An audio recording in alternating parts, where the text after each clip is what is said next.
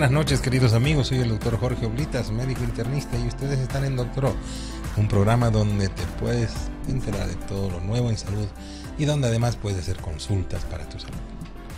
Hoy vamos a hablar de un tema eh, muy importante y para ello nos acompaña la doctora Elsa Machicado, quien es ya una amiga de la casa y nos acompaña ya en estos programas tan importantes. Hola, doctora Elsa, ¿cómo estás? Buenas noches, doctor. Muy feliz de estar una vez más con usted. Gracias por venir. Hoy nos toca hablar de trastornos del crecimiento. Yo creo que no hay un solo papá que no se haya preguntado alguna vez, ¿está mi hijo de tamaño normal? ¿Está creciendo bien? ¿Está desarrollando bien? Los trastornos del desarrollo eh, constituyen una irregularidad en el crecimiento y en el desarrollo del niño. Significa que un niño puede presentar un ritmo de crecimiento más lento o más rápido que otros niños de la misma edad. Las dos características claramente visibles son el peso y la altura. Cuando estos dos factores se desvían de la población media, hablamos de un trastorno del crecimiento. El concepto de crecimiento normal se establece porque se hace un promedio de los datos estadísticos recogidos sobre un determinado número de sujetos, en este caso los niños. Por lo tanto, los niños deben someterse a revisiones con regularidad para detectar desviaciones obvias en el crecimiento. El momento en el que un niño comienza a crecer y a tener un ritmo de crecimiento también puede depender eh, de varios factores, sobre todo hereditarios. Un niño que experimenta una alteración en su tasa de crecimiento también puede tener problemas relacionados con el desarrollo mental o las habilidades verbales. Por eso es tan importante determinar el crecimiento y el desarrollo de un niño. Hoy vamos a tocar de este tema. Doctora, eh, ¿cuáles son los trastornos del desarrollo más frecuentes eh, que usted ve en la práctica diaria? Bueno, doctor, los trastornos más frecuentes que se presentan en la especialidad de endocrinología están asociados a alteraciones metabólicas, alteraciones genéticas, alteraciones idiopáticas, alteraciones de cariotipos, alteraciones eh, más que todo genéticas, incluso de herencia. Herencia sobre todo. Exacto. De bajo peso, de baja talla. Exacto, asociadas a enfermedades metabólicas, ¿no? En el caso más común y frecuente, problemas de tiroides, problemas de un hipotiroidismo, el hipotiroidismo congénito, al menos se ve las características típicas de un niño con talla baja, con la implantación de orejitas bajas, es muy similar al Down, ¿no?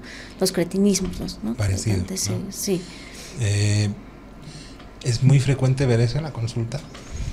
Actualmente ya con las pesquisas neonatales ha ido disminuyendo la frecuencia ¿no? del síndrome de hipotiroidismo congénito, pero aún persiste uno que otro caso. En nuestro país en algún momento ha sido bastante preocupante, eh, por eso se han hecho diversas campañas, eh, con la sal yodada sobre todo, ¿no? Exacto. Eh, hipotiroidismo congénito.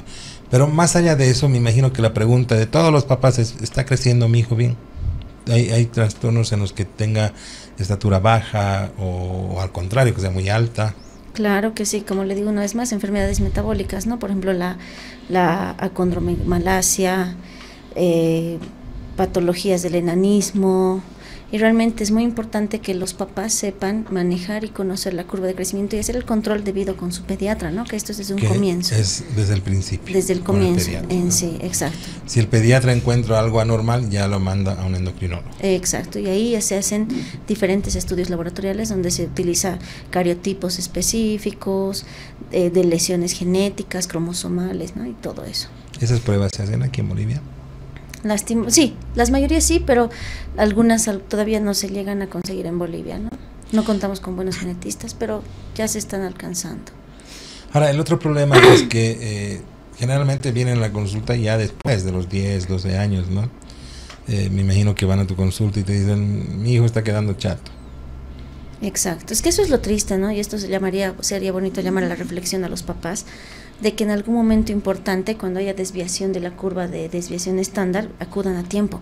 Ellos esperan, y muchos pediatras cometen ese error, ¿no? Decir, esperaremos a que el niño le dé el golpe del desarrollo, el golpe del crecimiento, y se espera un año, dos años, cuando en el momento exacto de la detención del crecimiento hay que hacer la estimulación. Siempre. Sí, siempre. y ahora que ya se puede. Claro, sobre todo si tienes antecedentes genéticos, ¿no? si el papá es bajito, la mamá también. Exacto. Sacar el potencial genético, ¿no? ¿Cuáles, ¿Cuáles son los factores que afectan en el crecimiento de un niño? Factores de crecimiento. Porque hay factores genéticos. Tú sabes que un niño va, de acuerdo a su, a su genética, va a crecer determinada estatura. ¿no es cierto? Exacto. Pero puede ser que otras diversas causas impidan que llegue a esa estatura. Claro que sí, puede ser el medio ambiente, el medio que los rodea, la sociedad, la cultura en la que viven, patologías, como dijimos anteriormente, metabólicas, alteraciones hormonales que está muy asociado a lo que es el crecimiento, la obesidad, o sea, realmente enfermedades muy comunes que se han hecho tan comunes hoy en día están asociadas a una talla baja. Desde ya a temprana edad, la obesidad es una de ellas, el síndrome metabólico es una de ellas, la mayoría de los niños gorditos tienden a ser bajitos, ¿no? Claro. Pero eh, en, todo este espectro hablamos de una hormona en especial que es la que más nos preocupa, ¿no? Es la hormona del crecimiento. Existen algunos eh, síntomas eh, que nos puedan llamar la atención en cuanto tengamos a un niño con deficiencia de la hormona del crecimiento. Lo más importante, como tú lo decías al comienzo de la charla, el control de peso y talla. ¿no? Esos son los síntomas más importantes. La hormona. Exacto, y no solo la hormona, el control de la del desarrollo y el crecimiento de un niño sano tendría que ser niveles hormonales laboratoriales y también estructurales óseos, ¿no? Los, la, estructura ósea, radiografías, hacer un seguimiento de todo esto. Y los síntomas más típicos de un niño que tenga alteración a nivel de estos son los síntomas, por ejemplo, ya es, no es normal que un niño tenga dolores articulares, ¿no? Ese es un síntoma típico que presenten. ¿Qué más he visto? Creo que eso.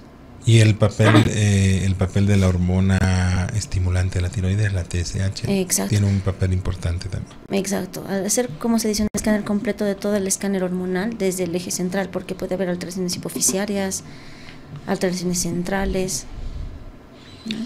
¿Y la nutrición? También está muy relacionada a la falta. Claro, una desnutrición crónica, ¿no? Podría que se veía mucho en nuestro país, además, ¿no? Exacto. En un momento. Entonces tienes una serie de eh, factores que intervienen en el crecimiento de un niño.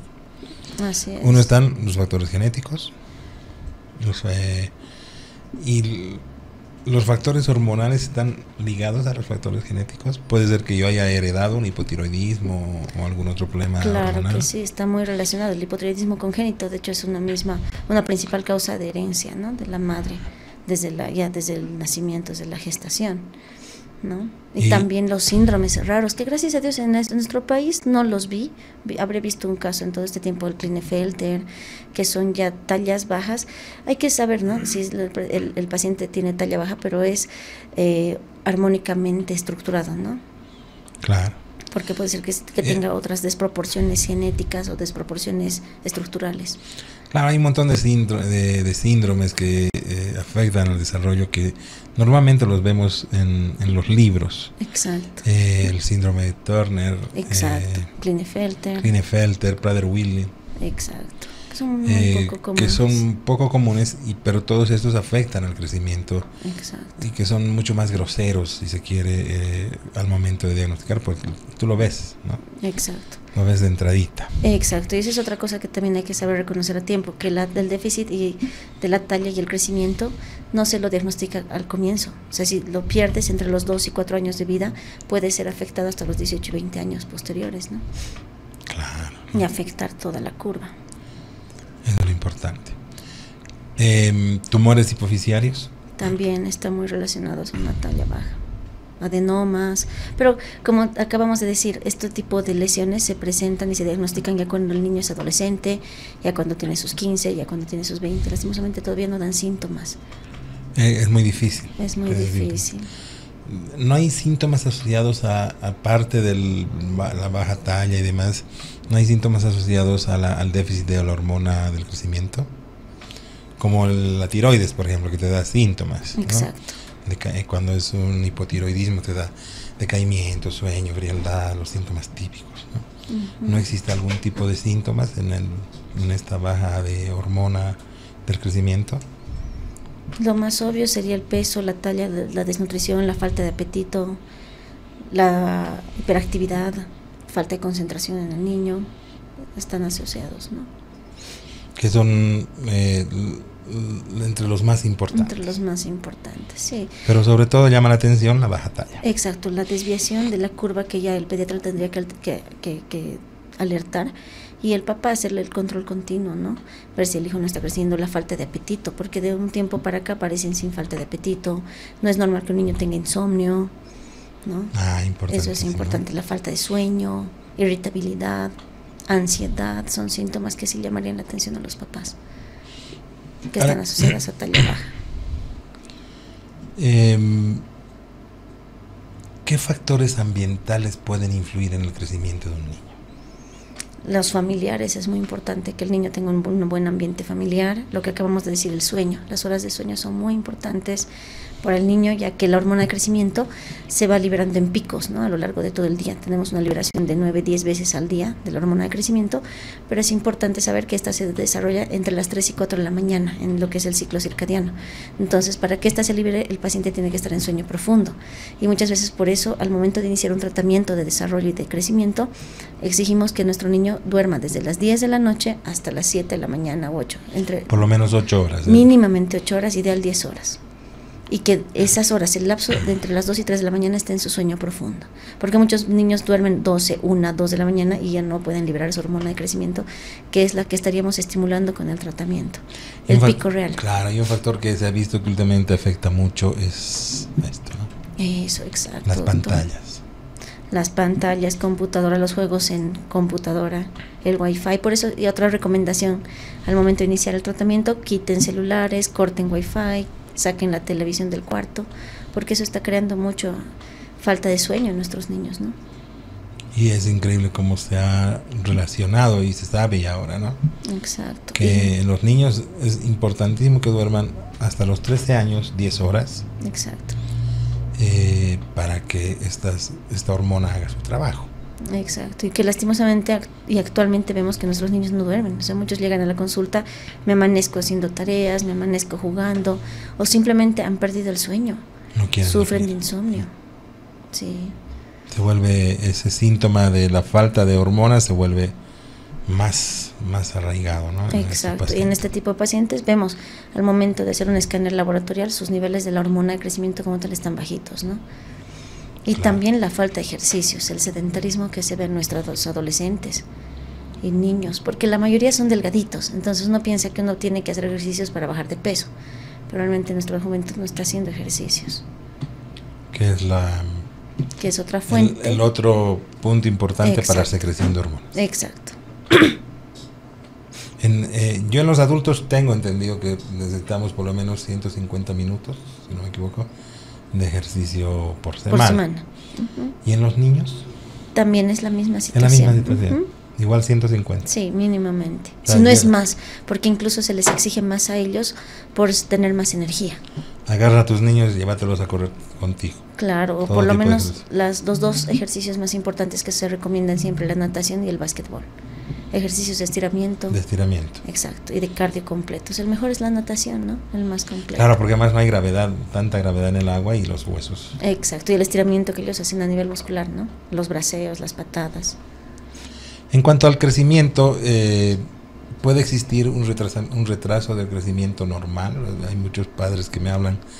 Mi hijo hasta los 11 años era chiquitito y después pues, crecido un montón.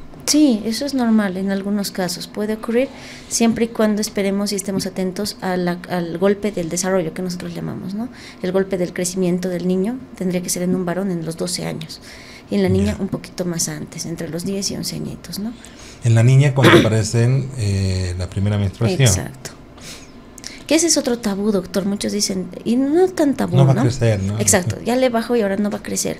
Si bien no es tan asociado a que no va a crecer, pero sí es cierto que se disminuyen los niveles de secreción de la hormona, pero que sí puede crecer. Pero es mejor estimular mucho más antes de la menstruación. De que crezca, Antes de la menstruación. antes de la menstruación. Exacto. Eh, eh, después de la menstruación sí crecen, pero ya no... Ya Disminuye casi su 50% de su desarrollo de la hormona. O sea que es mucho más lento el crecimiento. Y es por eso que muchas mujeres te, baja la menstruación y nos quedamos pequeñitas. Y desde ahí ya no crecen más. Ya no crecemos. Nos quedamos, ha dicho doctor. Sí, ya me quedé chiquita. no creo. Sí. ¿Existe algún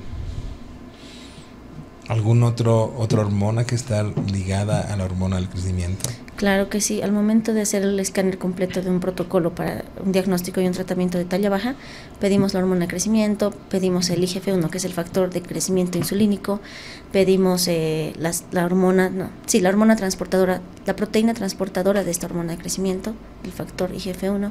Esas son las tres más importantes. Que se tienen que pedir, que sí se hacen aquí en Bolivia. Exacto, se hacen en Bolivia y también, como usted lo dijo anteriormente, eh, siempre se tiene que descartar patología tiroidea, alteraciones a nivel de la insulina. También la insulina está muy asociada a la resistencia a la insulina. ¿Qué, papel tiene la insulina, doctora, en esto del crecimiento?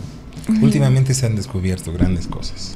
Sí, las pruebas más que todo, ¿no? Las pruebas de insulina. Hacer que esta, la, insulina estimule la hormona de crecimiento, ¿no? Y para ver si realmente a nivel de laboratorios el, hay un déficit de crecimiento y los niveles de crecimiento estén normales o no en el paciente. Se hace el test de la insulina, ¿no? Ah. Y se cree también, ah, por eso, actualmente está todavía en estudios de que con insulina podemos hacer crecer a los pacientes produciéndoles las hipoglicemias. No sé si usted ha escuchado hablar sí, sí, sí, Y eso sí, pero aún todavía está en estudio, ¿no? Porque la hipoglicemia hace que se dispare la hormona del crecimiento. Exacto. Y eso produciríamos utilizando insulina en nuestros niños. Pero habría que ver riesgo-beneficio. El peligro además, ¿no? La neuroglucopenia, ¿no? Claro. Eso está en estudio todavía. Pero el test de la insulina sí se está realizando. Doctora, ¿en qué momento yo como papá debo asustarme e ir al endocrinólogo eh, pensando que mi hijo tiene un trastorno del desarrollo?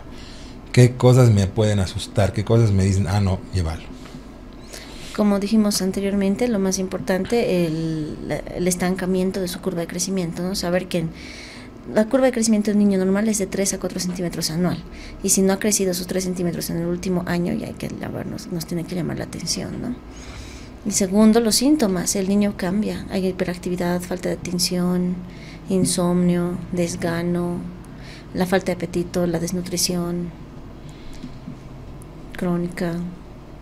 Porque los papás eh, hacen lo que eh, yo me acuerdo que hacían mis papás. Con un lapicito nos medían, ¿no? en la pared. Me imagino que siguen haciendo eso los papás.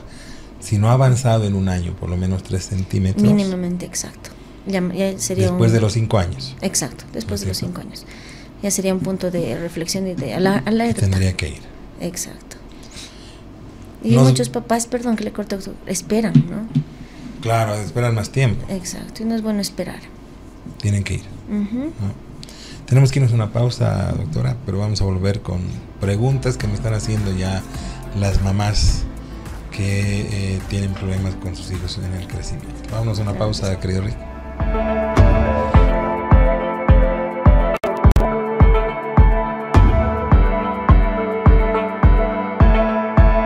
Tenemos la primera pausa, como siempre, con algo muy importante que usted debe tomar muy en cuenta, porque en esas aventuras de la vida no están solos porque nosotros estamos ahí, en sus bolsillos, mochilas y carteras. Los comprimidos día y noche de Refrianex, junto a los bolivianos en cada aventura. Refrianex siempre contigo, en cada momento.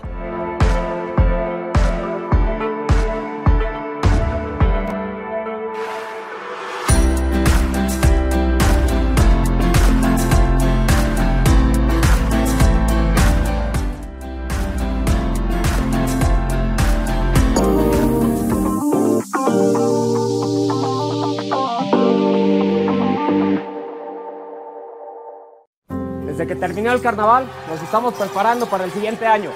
¡Vamos chicos! Desde que recuerdo, en casa comemos marraqueta con café.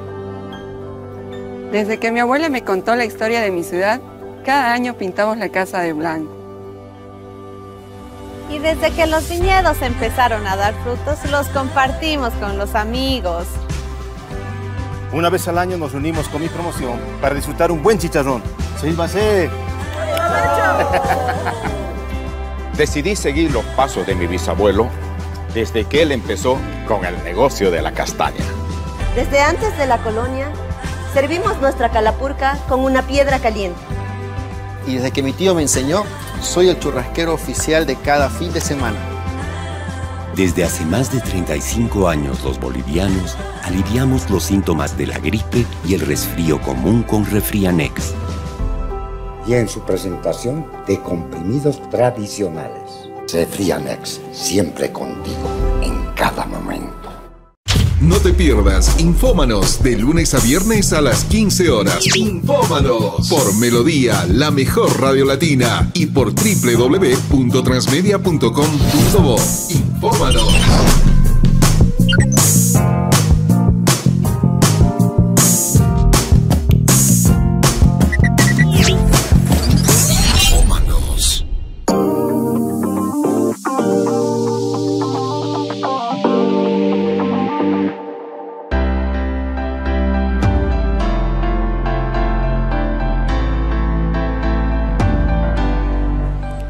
Estamos de retorno con la doctora Elsa Machicado, ella es endocrinóloga, y estamos hablando de trastornos del crecimiento.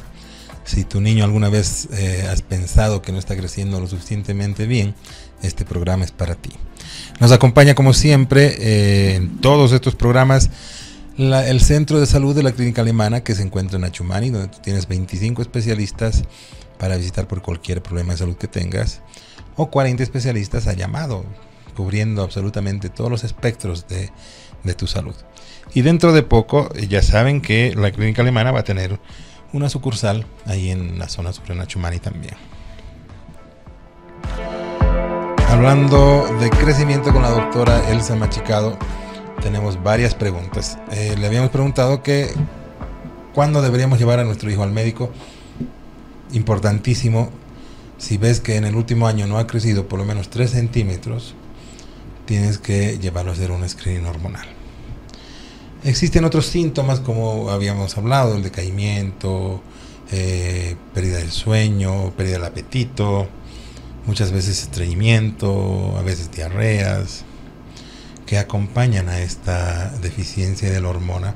Y también importantísimo el, el, eh, dormir bien, que es fundamental. Dormir bien y ejercicio.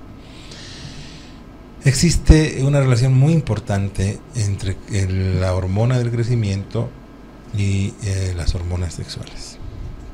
Exacto. Eso es algo que también nos faltaba hablar, la hipófisis, ¿no? Tendríamos que hacer un, escáner completo al momento de detectar de, alteración o falta de crecimiento en nuestro niño, control de lo que es folículo estimulante, luteinizante, dependiendo del sexo sí está muy asociado. De, eh, en ambos, testosterona en los varones. En ambos, claro. En ambos hacerles todo, ¿no? En ambos hacerles la folículo estimulante, la luteinizante, testosterona tanto en hombre como en mujer. Incluso, como hablábamos anteriormente, usted me decía tumores hipoficiarios, el adenoma hipoficiario como la eh, prolactina, hiperprolactinemia, que nuestros papás no se dan cuenta, que también sería bueno enseñarles a nuestros niños y, adolescentes que sepan revisar su cuerpito, porque ha llegado a la consulta muchachitas que presentan ya la galactorrea. ¿Y qué es galactorrea? La secreción de calostro a nivel de la glándula mamaria, ¿no? Claro, una secreción a través de la mama. Exacto. ¿Y en los varoncitos también se puede dar esto? También las ginecomastias están asociadas a una alteración mayormente de talla, más que todo asociado a una obesidad central, a una obesidad, acúmulo de grasa a nivel de región pectoral, ¿no? Que tienen mucho que ver con eso. Los hipogonadismos también están asociadas a la talla. La baja talla. Así es. El hipogonadismo de por sí ya te produce una baja talla y otros trastornos. ¿no? Y no solo en talla, sino la falta del desarrollo en el aparato sexual genital, ¿no? Los caracteres sexuales secundarios no se desarrollan. Exacto. En los varones no crece el vello. En las mujeres no, no hay un crecimiento de las hormonas de las glándulas, mamarias, desarrollo de caderitas. ¿No es cierto? El botón mamario, todo eso. Que es muy importante. ¿Existe eh, alguna diferencia? Bueno, existe una diferencia entre el retraso del crecimiento y la baja estatura familiar. ¿Alguna diferencia? Claro que sí. El retraso del crecimiento es algo que no podremos, podremos ponerlo hasta como fisiológico en algún momento. Pero ya eh, la baja talla familiar, pues algo genético que sacando el potencial genético del niño tendríamos una aproximada talla con una con un rango de diferencia, ¿no? De ah, unos sí, de 7 a centímetros, más o menos es lo que nosotros manejamos para ver eh, a qué cuál es su potencial genético del niño, máximo y mínimo también que podría es midiendo a los padres. Exacto, hay una fórmula que se mide mamá, papá, se hace una resta con una constante y se hace la división entre dos. Y ese es el, lo que debería crecer lo aproximado que debería crecer el niño según su potencial genético y lo que esperamos con la estimulación del de las hormonas de crecimiento que son más o menos ganar unos 7 a 10 centímetros por tratamiento, ¿no? Si es que va a haber ese potencial. Exacto. Si es que va a haber respuesta también al tratamiento, porque cada niño es diferente. Porque, por ejemplo, el niño está en unos 50. El papá mide unos 51 y la mamá mide unos 52. Tampoco vas a esperar que crezca más. Exacto. Esa es otra cosa, ¿no? Las leyes de Mendel también nos dicen otra cosa. El potencial genético yo depende cada paciente. Por eso se debe individualizar a cada paciente. Porque hay niños que vienen de dos papás bajitos, pero el niño mide un 80. Y es porque el abuelo era alto, más que todos los abuelos, ¿no? O los tíos. Ah, puedes recibir de ellos. Exacto. Sí, no, porque muchas veces ves papás de talla normal o baja y con hijos grandes. Exacto. O viceversa, dos papás que midan unos 70, unos 80 y el chiquito chiquitito. Y ahí sí tiene mucho que ver, ¿no? Exacto. El, el, ambiente también, el, eh, esto que hablábamos de dormir bien, la nutrición, el ejercicio. ¿En La Paz, por la altura, se crece menos? No, pero sí habría una afectación, ¿no? Por la altura de la falta de oxígeno y la oxigenación está, usted sabe que está relacionado a todo, ¿no? Sí, porque ha habido estudios eh, de, de, hormonas. Por ejemplo, se sabe que en Santa Cruz hay más diabéticos que aquí, por ejemplo. Que las hormonas tienen cierta... Eh, que la altura tiene cierta influencia sobre las hormonas del crecimiento, pero no existe ningún estudio, ¿no? Real no. Existen no, no, no un estudio específico, pero sí hay probabilidades, ¿no? Hay estudios. Porque vemos en Santa Cruz, Cochabamba, eh, la juventud es más alta. Claro, y es que hace mucho, como decíamos, la cultura, el ambiente, el, mismo clima es fundamental. De hecho, decimos cuando están en el tratamiento viaje, que el niño en vacaciones se vaya a un lugar caliente y eso sí va a ayudar también al estirón. De por sí el ambiente cálido hace que haya un mayor desarrollo. de la hormona, del crecimiento, y de todas las hormonas. y de todas las hormonas, eso es cierto. En los lugares tropicales los caracteres sexuales secundarios se desarrollan mucho, mucho más, rápido. Em, una vez que ya has diagnosticado, y me encanta que hayamos entrado a este tema, porque eh, cuando se pusieron a disposición los tratamientos con sustitución de la hormona del crecimiento, eh, ha sido un gran salto ¿no? para, para los papás que creen que decían mi hijo no va a crecer mucho, quiero que crezca más. No es que tú les vas a poner la hormona y van a crecer más de lo que tenían que crecer. En general crecen lo que tienen que crecer. Exacto. Y eso está, qué bonito que usted lo dice, doctor. Eso tiene que estar claro a la población, porque uno piensa, el papá cuando llega a la consulta piensa que él va a crecer más de lo necesario o que va a crecer 30 centímetros, 50 centímetros, y no es así. ¿no? Vamos a alcanzar a su curva que en algún momento se ha desviado porque al tener detención del crecimiento ha hecho una desviación de su curva estándar. Entonces vamos a buscar nivelar y volverla a la curva para que continúe su curva real. Que sirva su curva. Exacto. La que está predestinada a tener. Exacto. y darle una, una ayuda, pero como le digo, no es que estamos hablando de ganarle unos 20 centímetros. Claro, le vas a dar un empujoncito para que recupere eso que no ha tenido. Su hormona de crecimiento. Esas hormonas. Exacto. Y que con su ayuda propia y sus cambios con su estilo de vida, porque siempre se llama la reflexión al adolescente más que todo, al momento de iniciar el tratamiento. Si cambias, si, si, dejas el sedentarismo, si empiezas a hacer ejercicios, porque incluso la, la creación de estas hormonas está muy asociado a la utilización de fármacos como ser... Eh, bueno, fármacos, drogas, la nicotina, muchos fuman a, menor edad, a temprana edad. Entonces, decirles quitar el tabaco de tu vida, no tomes alcohol en estos tres meses de tratamiento, ¿no? Descansa. Para, iniciar una terapia de, con hormonas del crecimiento es todo un protocolo, ¿no es cierto? Exacto. Tú, eh, ¿qué es lo primero que haces? ¿Qué es lo que pides? Has pedido toda esa batería de laboratorios, pero también me imagino que tienes que pedir radiografías. Exacto, las imágenes. La radiografía de la manita izquierda es la más importante porque se asemeja a todas las articulaciones grandes que serían las que me muestran los núcleos de osificación y la edad ósea. Y eso sería bonito hablar un poquito y explicar a la gente, a la población qué es la edad ósea.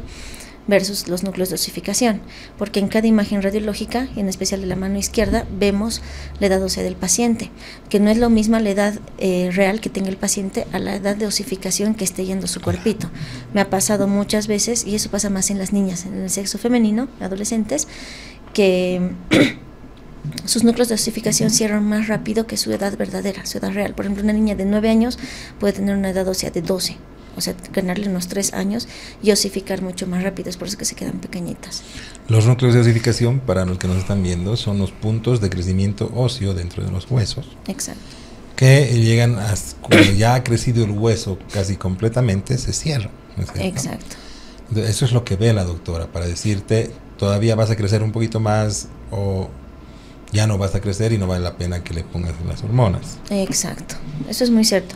La imagen nos va a ayudar y nos va a dar un diagnóstico preciso y real de que si va a servir o no el tratamiento al momento de iniciarlo. ¿Qué otras, eh, en laboratorio eh, es, es imprescindible que la hormona del crecimiento esté baja o puedes iniciarle aún así?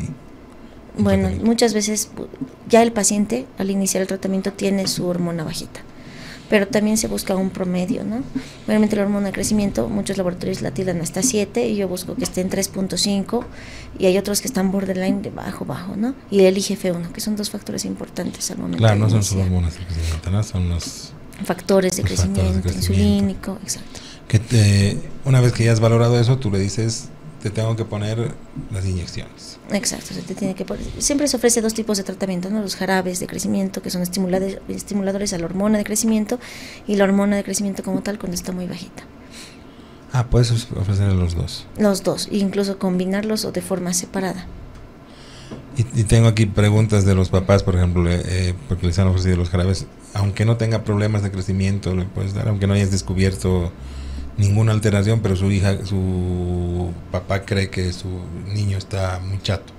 Los jarabes, obviamente antes de iniciar un tratamiento hay que hacerle previa evaluación, pero si está normal, dentro de valores normales, la hormona de crecimiento, se puede iniciar los jarabes para darle un estímulo, porque el jarabe de crecimiento que la mayoría de las farmacias artesanales, porque estos jarabes se hacen en farmacias artesanales según dosificación de la edad. Existen jarabes tipo 1, tipo 2, tipo 3 y tipo 4 según cada edad. Para cada edad. Para cada edad. Uno para niños bajitos, este de 8 a 10 años, la 2 para de 12 a 15, la 3 y hasta adolescentes mayores hasta los 18 están tomando la, el jarabe número 4. y cada jarabe no es nada más que una fusión de aminoácidos, ¿no? En esos jarabes está la, la arginina, están complejos B, están cinco oligoelementos, metales buenos. Que son importantes. estimulantes para, las hormonas de crecimiento. Y que así han dado muy buen resultado. Ah, no, junto con una fusión de, otros, de otras vitaminas, ¿no? También. Las del complejo B que son Exacto, complejo B. Zinc, omega 3, vitamina D para la absorción de calcio al momento de iniciar el tratamiento. Uno de los aminoácidos justamente más importantes es la L-arginina. La L-arginina. Que, no se le encuentra mucho. De hecho, también yo mando hacer la de forma artesanal. En la en nuestras farmacias en nuestras artesanales. Farmacias artesanales. sí. Y bueno, eh, cuando ya no, cuando tú indicas entonces reemplazo hormonal? Cuando dos cosas vemos fundamentales, cuando sus hormonas están bajas y cuando todavía tengo la posibilidad de estimular el crecimiento, cuando sus núcleos de osificación están abiertos. Y para que los pacientes y los papás sepan diagnosticar o darse cuenta, son los espacios que todavía están abiertos en lo que son las falanges distales, ¿no? terminaciones de los huesitos de los deditos y de la muñeca. Sí. Cuando tú ves ahí un niño de 13, 14 años, porque ¿hasta qué edad puedes poner hormonas? Las hormonas de crecimiento en la práctica yo puse hasta los 17 en varoncitos y hasta los 14 en mujercitas, viendo resultados. Ahora ya vinieron 18, 20 y no, lastimosamente no dieron resultado. Y además que conlleva un peligro aparte, ¿no? El uso de hormonas de crecimiento en personas que no que nos producen un síndrome que es la acromegalia. La acromegalia, claro, el desorden, de deformación ósea. Lo que sucede es que como el cuerpo eh, ya no tiene los huesos donde crecer, se van a deformar si tú les pones hormonas de crecimiento. Exacto. Eso es lo más importante. Y justamente una de las preguntas que, que, nos hablaba aquí esto, ¿no? Es, ¿qué es la acromegalia y cómo afecta al crecimiento de los niños? Y eso lo vamos a contestar cuando volvamos después de esta pausa.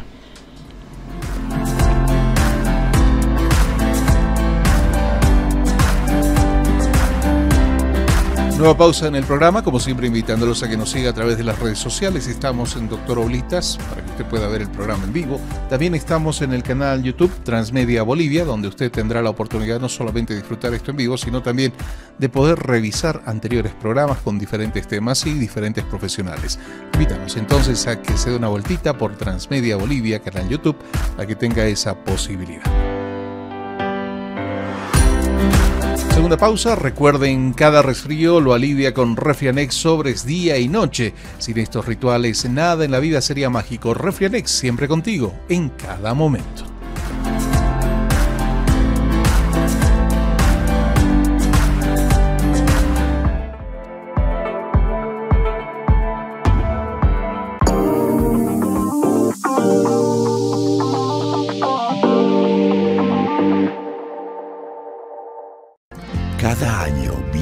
Para celebrar su aniversario.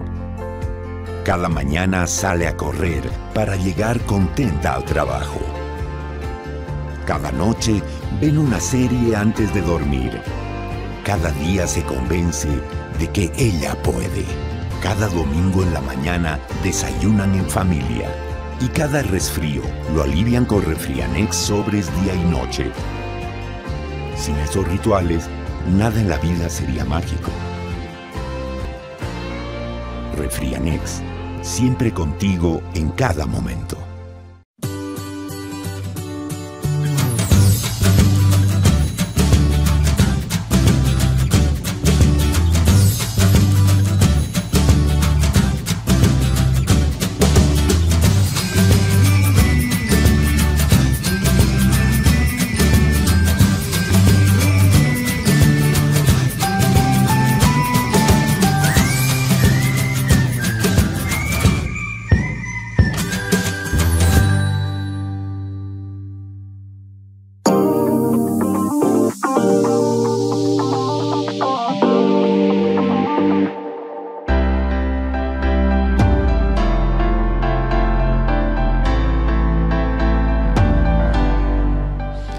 Y estamos de retorno con la doctora María Elsa Machicado, y es endocrinóloga, y estamos hablando de los trastornos del crecimiento. Nos habíamos quedado en una pregunta que me hicieron en las redes, que es, me decían, ¿crees la cromegalia? Eh, ¿Cómo afecta a los niños? Y si se puede presentar en personas mayores. Bueno, la cromegalia es una alteración justamente de lo que hablábamos del hormona de crecimiento, cuando éste empieza a desarrollarse en excesa cantidad en excesiva cantidad y alterando las uh, articulaciones más importantes y produciendo deformidad, deformidad de las mismas, ¿no? produciendo un mentón mucho más agrandado, prominentes puños, nudillos, alteración a nivel de articulaciones de las falanges, um, agrandamiento de, las, de los pies, de las rodillas. Realmente llegan estas personas a medir 80, 2 metros, pero de forma eh, gigantesca, ¿no? De hecho, la cromegalia anteriormente en la historia se creía que eran los gigantes, ¿no? Eran gigantes. Uh -huh, el gigantismo. Y, y, se ve, se ha visto, porque eh, la cromegalia ocurre después del, de, la, de la edad de crecimiento, ¿no? Exacto esta hormona, este desarrollo de la hormona se presenta después de que ella haya llegado al límite de, de un desarrollo normal de un, una persona y esta persona continúa creciendo, pero ya no es un crecimiento armónico, sino es un crecimiento deformativo en esas eh, regiones que se dijo anteriormente, ¿no? Agrandamiento del mentón, agrandamiento de puños, agrandamiento de codos, rodillas y pies. ¿Y podrá ocurrir acromegalia en una persona mayor de en la tercera edad, por ejemplo? Se ha presentado en algunas oportunidades, pero se, son casos muy, muy raro, raros. ¿no? Exacto. Eh, generalmente por tumores. Tumores, alteraciones de la secreción de la hormona de crecimiento asociado a tumores hipoficiarios, eh, hormonas sexuales. Habría que hacer un descarte completo, pero es muy raro. Es rarísimo. Uh -huh. Tengo algunas preguntas que me están haciendo desde las redes que me gustaría que las podamos contestar. Esperamos contestar la mayoría de ellas, porque es un tema de verdad muy importante y que eh, la gente tiene muchas dudas, ¿no? sobre todo en cuanto al tratamiento hormonal, porque uh, hay muchos mitos además en torno a esto. Claro. Me dice, hola, tengo 14 años y 9 meses, soy mujer y mido 1,64. Quisiera saber cómo podría crecer más. 1,64 para nuestro medio no es tan bajito. No está mal, ¿no? Claro que sí, pero obviamente habría que descartar en ella a qué edad ha menstruado, si tiene alguna alteración a nivel hormonal, habría que hacer un escáner completo de tiroides, ovario poliquístico, que también está asociado. Claro. El peso, la talla. Que es tan importante, ¿no? Sí. Hacerle todo el screening Y la, hormonal. la radiografía, ¿no? Las imágenes y también osificado o no. Doctora, buenas noches. Muchas gracias por la información que nos está brindando. Es muy útil. Mi hijo mide 1,50 y tiene 14 años. En la radiografía de mano indica edad ósea de 14 años, 10 meses. Su condición, me indicó el en- endocrinólogo, es debido a que fue un bebé nacido con restricción de nacimiento. Nació de 39 centímetros y un peso de 2,300. Y nunca pudo recuperar su estatura y peso. Su papá mide 1,74 y yo mido 1,60. Le recetaron hormona de crecimiento. ¿Será que sí va a crecer con esta, con esta hormona o ya no servirá? ¿Será cuánto más podrá crecer? He leído que a los 15 prácticamente ya no se crece y no es muy recomendable la hormona. Varoncito es el hijo, Sí. ¿no? No, de hecho sí va a crecer. De hecho los varoncitos crecen hasta los 20 años, ¿no? Pero habría que ver si el potencial genético nos dan las tallas de ambos papás, no son bajitos, o sea, él tiene buena, buena eh, esperanza de crecimiento, pero habría que iniciarle, yo iniciaría ya la hormona de crecimiento en él. De una vez, ¿no? De una, exacto. Y nos damos cuenta que está funcionando el tratamiento cuando por paciente crecen mínimamente por mes, o sea, después del mes de inicio tienen que crecer medio centímetro. Y si han respondido al tratamiento, el paciente viene con medio centímetro de más cada mes. Y ganamos, duplicamos la talla, si usted se da cuenta, porque si en un año tienen que crecer 3 centímetros, con el tratamiento crecen 6. Y ganamos los 3 que le faltaban. Ah, ya. Y genial, eso ¿no? gana- eso hacemos. Entonces yo sugeriría que sí se inicie el tratamiento, que sí puede crecer.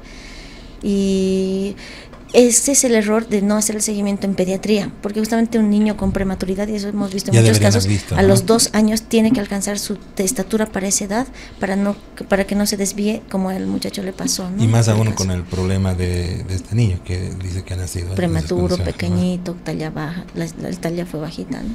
Es importante. Pero sí se debe buscar hasta los dos o cuatro años de vida su que compense su edad real versus su, edad su talla cronológica, ¿no? Hola, tengo 17 años y mido 1,47. Necesi- necesito medir 1,55 porque la carrera que he elegido me exige este tamaño. ¿Podré hacer algo? Por favor, ayuda. Mm, ¿Es varón o mujer? Varón. 17. Ya casi ha llegado a la edad adulta, ¿no? Exacto. Es más difícil, ¿no? Como se dice, siempre hay que individualizar a cada paciente. Habría que ver sus estudios, pero va a ser mucho más difícil. Que se cuelgue. Eso, que se Yo, yo he visto, eh, hace miles de años, en los años 80, veía- había un gimnasio aquí donde te colgaban del cuello. ¿Sí? Sí. Qué interesante. Eh, no sé si tendrá alguna alguna función, si ha servido para algo en esta vida, pero sí te colgaban eh, con unos arneses aquí en el cuello para, y las mamás que pensaban que sus hijos eran petizos Los colgaban. llevaban a, ahí a colgar, los veías colgados y, y me imagino que cuando ya has hecho todo puedes darle jarabes que no le van a hacer daño, Exacto. que duerma 10 horas. O sea, es no perdemos nada. perder la esperanza, Eso, ¿no? agotar todo lo que esté a nuestro alcance. ¿No? Y eso de colgarse, doctor, sí es importante. De hecho, yo recomiendo también a los pacientes, pero no, no de, las manos, de las ¿no? barras, exacto. No me hagas barras, pero colgate lo que tú, las cuatro repeticiones todos los días, lo que tus manitos toleren, Todo lo que puedas. todo lo que puedes. Tanto de manos y de pies se puede, ¿no? Entonces, colgate. Qué bien. Doctora, muy buenas noches. Nos escriben desde Sucre. Ah, Mi familia es bajita por parte de mamá y por parte de papá no pasa de unos 70. Yo a los 18 años estoy midiendo unos 50. ¿Puedo crecer más? 18 años. Mujercita, Sí. no, es difícil. Como le digo, yo he visto que crecen hasta los 15 o dan un buen resultado. Ya 18, no. Y más si la menstruación ha empezado mucho más rápido, ¿no? Más antes, que ahora se está viendo eso. Me llegan las- a la consulta niñas que están Cada menstruando a los rápido, ¿no? 9. Sí. Eso, eso influye mucho y tengo una pregunta de eso, ¿no? Eh, influye mucho la alimentación. Exacto, la soya. La soya, los pollos con los hormonas, transgénicos. los transgénicos. Exacto. Están acelerando el proceso. Mira este, este ambicioso, este es un, un chango que quiere más. Tiene 18 años, tengo 18 años, mido 1,94. Wow. Practico baloncesto y quisiera crecer hasta los dos metros. No seas goloso, che. Que siga jugando básquetbol y va a crecer. Claro, de hecho el varón crece hasta los 20, ¿no? Entonces tiene la probabilidad. Y Capaz podría, que si quiere ¿no? crecer, sí, puede tomar los Que aminoácidos. siga jugando, que tome los La jarabes. erginina, jarabes de crecimiento y va a crecer. Pero ya tienes 1.94, ¿qué más quieres? No va a haber cama para vos.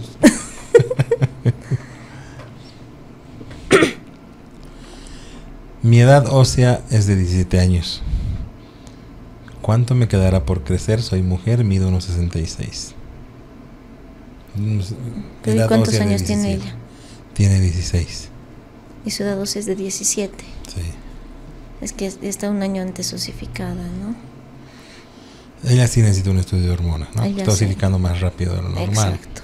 Hay que hacerle la hormona de crecimiento, hay que hacerle las, las que dijimos. Anda con la doctora. Te va a hacer un estudio completito. Mi hijo mide un 85. Mira, estos quieren que crezcan más la gente. Mi hijo mide un 85 y cumple 16 en un mes. Yo mido 1,93 y la mamá mide 1,70. ¿Será que va a crecer más? Claro, él tiene recién. ¿Cuántos años va a cumplir en un mes? Va a cumplir 17. Y es varón. Sí, el hombre crece. Si no, se mentira, va a cumplir 16. Ah, sí, va a crecer, pero que juegue, ¿no? Tres cosas fundamentales que siempre se llama la a la reflexión, que nuestros adolescentes si quieren mejorar su desarrollo y su crecimiento, una buena dieta, lo que hablábamos, libre de transgénicos, libre de, de gluten, de soya, libre de azúcares procesados, la azúcar blanca, ejercicios y un buen descanso nos va a dar resultados. Siempre. Es que es importantísimo esto del sueño. Yo recalco mucho a la gente que nos escucha siempre. eh, dejen que sus hijos duerman, ¿no? Por lo menos 10 horas. Así que tenemos que son- irnos a una pausa. Más me ha parecido ir volando este, este segmento. Claro Vámonos a una pausa y volvemos eh, con más preguntas para el público.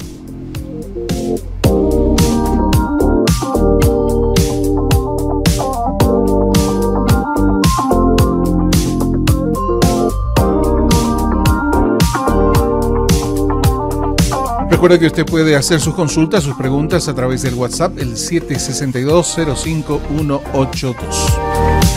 Pausa acá en el programa, la última.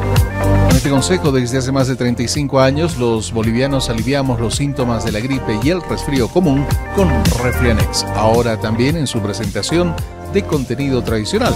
Refrianex, siempre contigo a cada momento.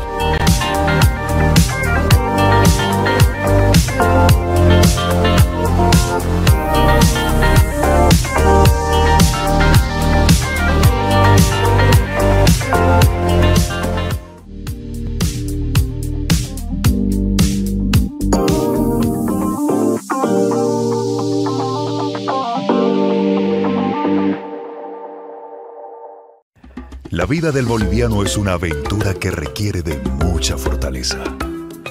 Esa que te hace enfrentar las noches más frías. O cuando se propone ganarle la carrera al sol. O cuando sin importar el calor se trabaja por la familia.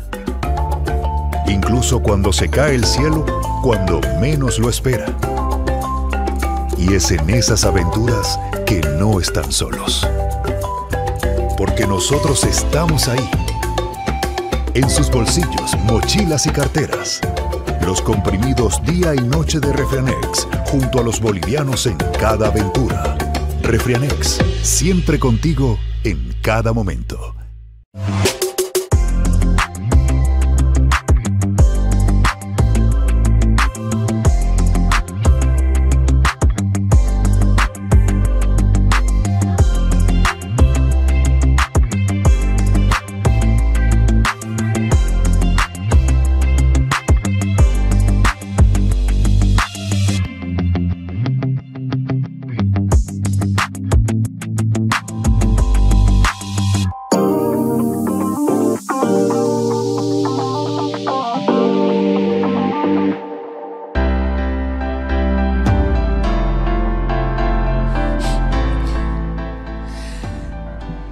Retorno en la última parte del programa con más preguntas de la gente que nos está haciendo sobre trastornos del desarrollo.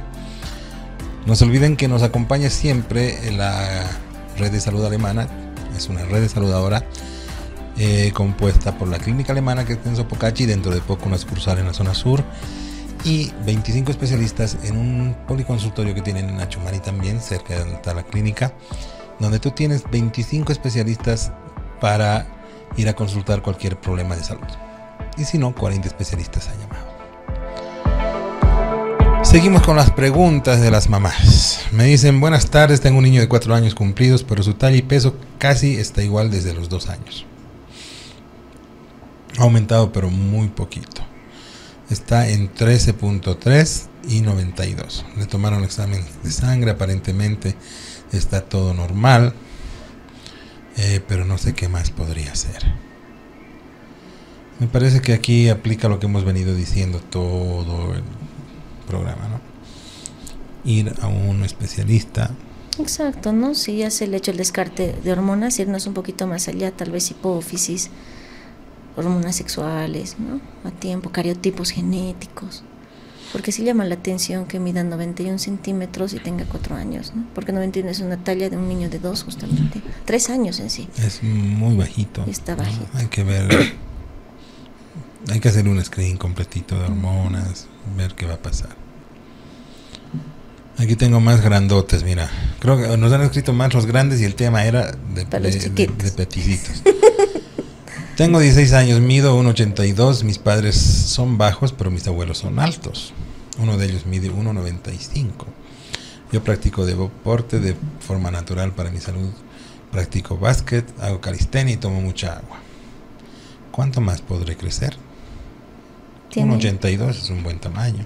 ¿Y tiene cuántos años? 16. Ah, no, va a seguir creciendo. Sí, sí, como una vez más, se llama la reflexión. ¿Quieres crecer de forma sana y de forma natural? Duerme bien, come sano y hace ejercicios. ¿no? Sobre todo si tienes esos buenos genes, ¿no? Exacto, Que porque por grandes. las leyes de Mendel se cumplirían lo de los abuelos y los papás, ¿no? Hola, tengo 14 años y mido 1,56. Mi papá mide 1,62 y mi mamá 1,51. ¿Será que voy a crecer más? ¿Cuántos años tiene? 14. Es bueno, habría que ver, ¿no?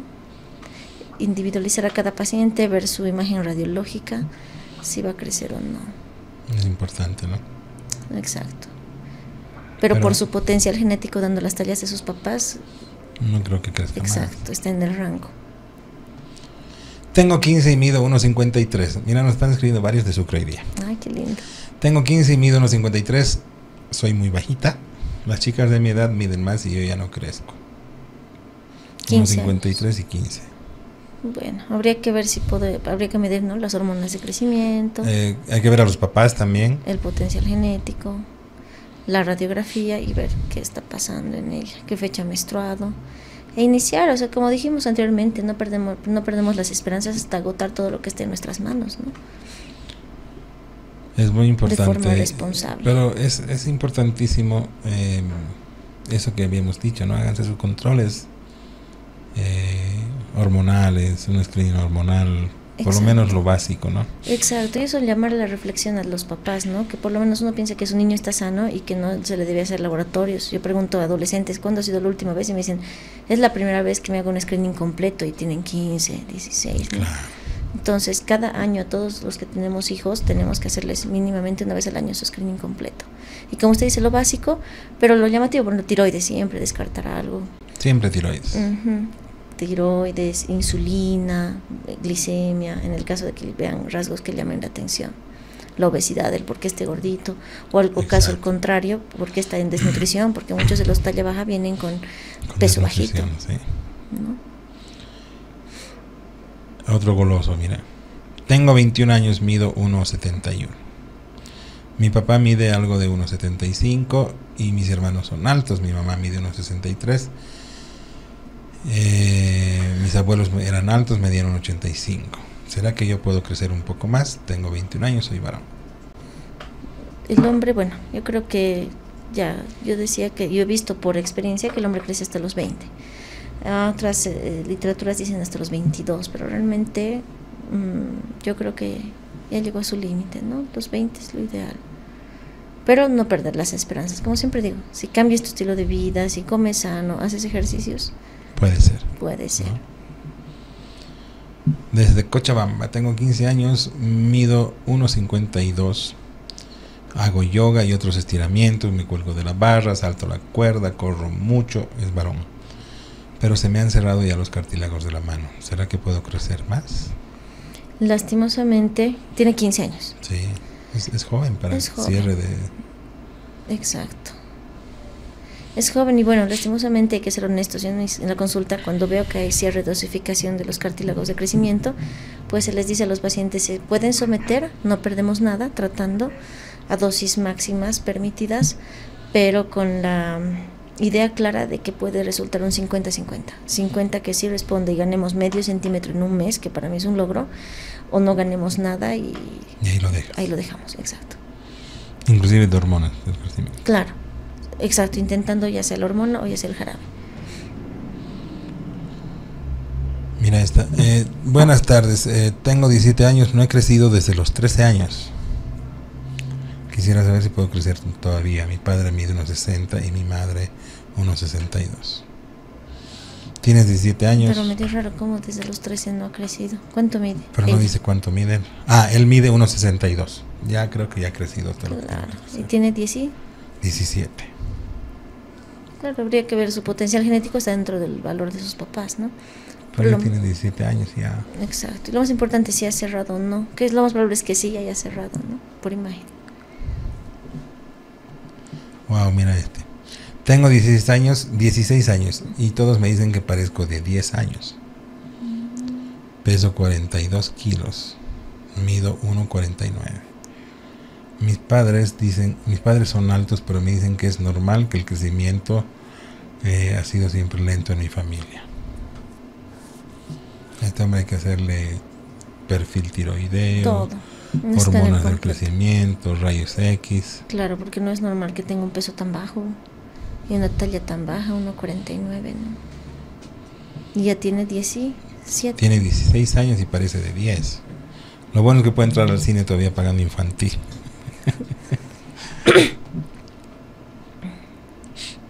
Todas las preguntas son así. Me dicen, tengo 16 años, mi madre mide unos 50, mi padre unos 67, yo mido unos 64 y no he pasado de ahí. ¿Creen que aún siga creciendo? Aparte, hace un tiempo me he golpeado el dedo gordo del pie derecho. ¿Eso me estará afectando? No, ningún golpe te va a afectar, pero sí, yo creo que llega a su potencial genético, ¿no? Que es muy importante. Eso. Ah, mira, tengo una pregunta. Mi hijo tiene 13 años, mide unos 50 y la doctora me dijo que tiene un desarrollo mayor a su edad. ¿Será apto para el tratamiento de crecimiento? Esta pregunta está interesante. Tiene 13 años y mide unos 50. Ya 13 años. La doctora me dijo que tiene un desarrollo mayor a su edad. ¿Pero en qué sentido? Habría que ver hormonas, hormonal. Eh, sería interesante ver Porque si se le ha pedido. eh, Eso, la talla no es para un niño de 13, unos 50. Sí, ¿no? Eh, ojalá le Pues es hayan pedido todas las pruebas, pero si no, yo le aconsejo que venga acá con la doctora, le van a hacer todas las pruebas de crecimiento y la radiografía también, que a esta edad es importante, ¿no? Exacto. Y ver muchos otros síntomas, ¿no? Asociados. Claro, ahí mira, me han hecho preguntas por todo lado, nos están invadiendo las preguntas. Y todas, es que es un tema muy importante. Eh, tengo 17 años recién cumplidos y mido 1,76. Quisiera saber si voy a llegar a 1,80. Mi padre mide 1,77 y mi madre 1,54. Yo ya no crezco desde los 14 años. Pero tiene unos 76. Sí, ya ha llegado a su Exacto. tratamiento, ¿no? Pero podría estimularse, ¿no? Si él quiere. Si es varón. Me están pidiendo el teléfono la doctora. En, en un momento vamos a... Ahí está el teléfono de la doctora Elsa Machicado. Todas las consultas al celular de la doctora. el, para tomar cita con la doctora es el 243 1133 en Unimed. Ella trabaja en Unimed conmigo. Em, somos colegas de consultorio. Hola, tengo. Mi bebé tiene 3 meses y mide 65 centímetros y pesa 13 libras. ¿Está bien todo o debo preocuparme? En los bebés. Bueno, en los bebés es más subjetivo, ¿no? Todavía.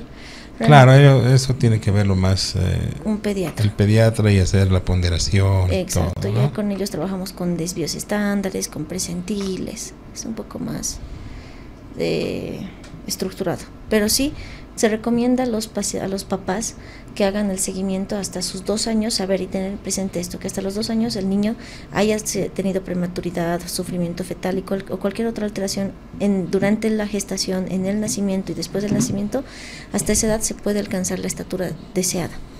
¿No? Claro. Y si no alcanzan la estatura correspondiente a la edad, ahí ya van a empezar los problemas de la curva de crecimiento a lo largo de toda su vida y como dijimos desde el comienzo del programa, pueden arrastrar hasta los 18 años. Y, y cada vez que avance el tiempo es más tarde y más difícil el modificar esa, esa curva. Nos cuesta más. Doctora Elsa, ¿será que en algún momento vamos a hacer una campaña de trastornos del crecimiento para talla baja, para... Eh, sí, Dios mediante, estoy, estamos pensando en lanzar en octubre. Ya estamos, ya estamos cerquita, ¿no? Porque hay mucha gente que está consultando y eh, está el teléfono ahí de la doctora. Lamentablemente el tiempo, nos han quedado muchas preguntas en el aire.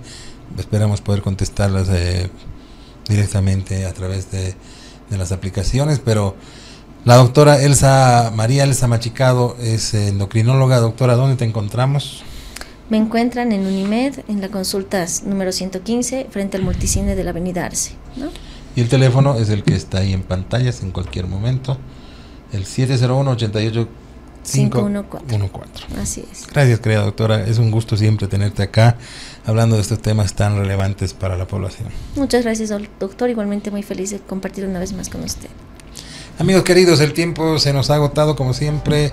Hemos sacado el jugo a todo lo que se pueda sobre los temas de salud que siempre tocamos aquí. No se olviden, soy el doctor Jorge Oblitas, médico internista, y ustedes han estado en Doctor, un programa para tu salud. love.